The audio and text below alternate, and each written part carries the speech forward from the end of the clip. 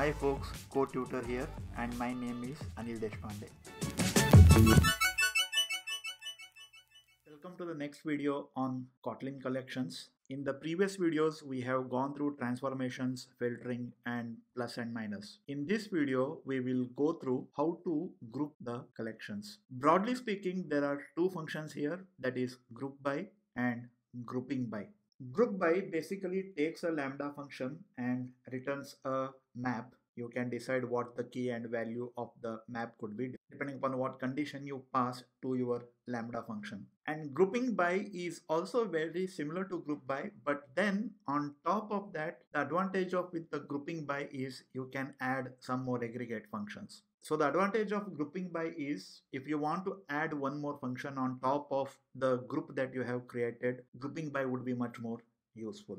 Then you will see transformation functions that can be used. And there are some other functions like each count fold reduce aggregate like min max average sum. But what you have to be aware of is these functions can be used with certain other functions like transformation can only be used with group by and each count fold reduce aggregate all this can be used with the grouping by so in this video we will have a look at the demo of how to use these functions with collections. So here I have people collection which is nothing but list of persons. You might be already familiar with this because I have used it in previous videos. But what we will do now is look at some of the usages of this. So here I have this people which contains a person first name, last name, nationality, age. Now what I want to do is group by nationality. So what I can write is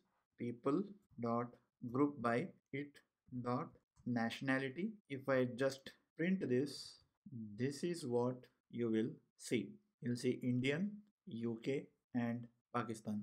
What I can actually do is dot instead of printing it like this, I can write a for each loop that is for each print ln it it dot key 8 dot value. Now if I run this, you will be able to see a map with key being nationality and value being list of people associated with that nationality. So as I said, group by basically gives you a map where key is the condition that you set and then the value is the values that satisfy that particular condition. So i can just create different types of uh, groups uh, for example. For example i can write people dot group by it dot age and if it is greater than 18 then create a group. So basically there will be two groups. One is lesser than 18 and other one is smaller than 18 i can assign it to variable here and print group by age let me just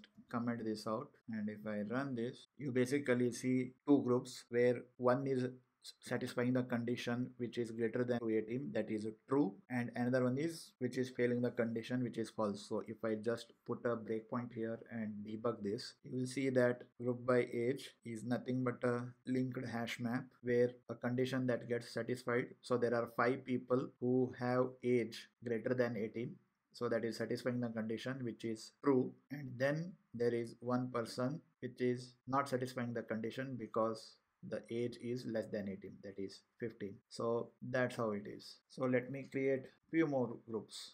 I can write something like group by first alphabet. So what i can do is people dot group by it dot first name dot get index 0 and if i just print the group by first alphabet if i just put a breakpoint once again here and debug you will see that with a i have three people that is anil amit and anis and with G I have one person that is George and with H I have one person that is Hazel and the last group is basically J which is James. So here in this case the grouping is done by the first alphabet of the first name. So it's up to you what you want to give as a condition when you are doing the group by there is also another interesting thing that you can do however that is instead of using group by you can use grouping by as well. People dot grouping by it dot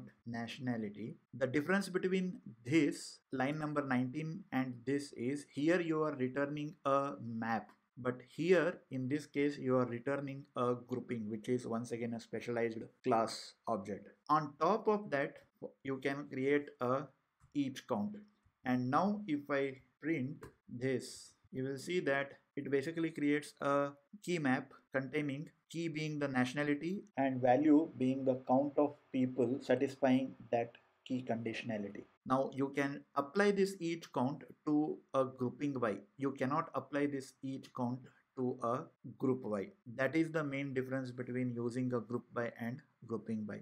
I can pretty much use the same here as well. If you go by age, major and minor, what I can do is print people dot grouping by I will use the same condition and then I will write each count. And if I run this it is going to give me how many are above 18 and how many are below 18 I can do the same here as well. People who are starting with letter A are 3 G1 H1 and J1 so to use the each count you have to do the grouping by you cannot use the group by However, there is another one major advantage with using group by. You can do the transformations. For example, let me comment it out, these two parts. Just observe what we have done here. So I have grouped it by age, okay? But if you see this, the key of the grouping is true or false. Ideally speaking, it would have made more sense if instead of true, I would have had a key called major and false minor. How to do that? Uh, now to do that we use transformations. So let me show you how to do that.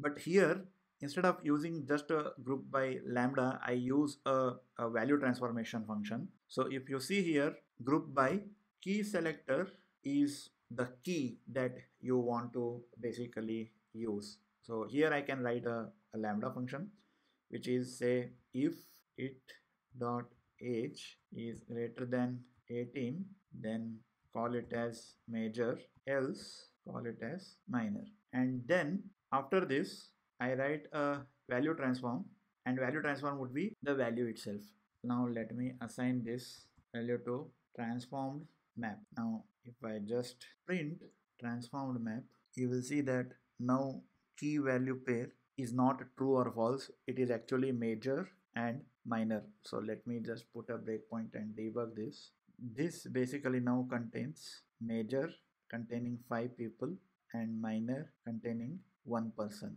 That is the major difference between this transformed map and group by age. If you see group by age is also the same but the only difference is the key is true and false which true or false because based on this particular logic. But here we have given little bit more heft to that particular logic to make it much more easily readable. So we will stop here. In the next video we will look at fold reduce and aggregate functions. That brings us to the end of this particular video. Don't forget to like comment share the video and subscribe to the channel. Take care. Bye